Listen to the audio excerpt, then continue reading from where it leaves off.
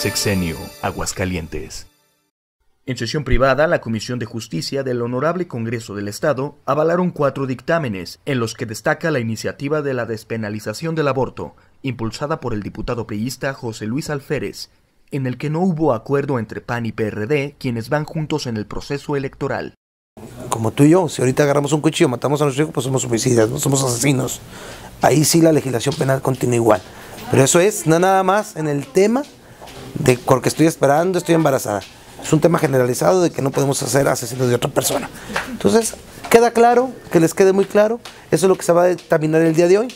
Hay una propuesta positiva ¿sí? de este tema, el cual, se los aseguro, en estos días la gente de Aguascalientes va a estar tranquila ya con este tema resuelto.